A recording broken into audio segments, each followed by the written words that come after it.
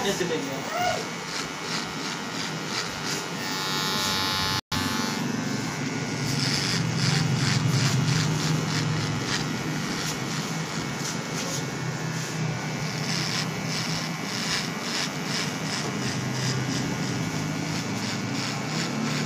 Ito ka na dyan, sir.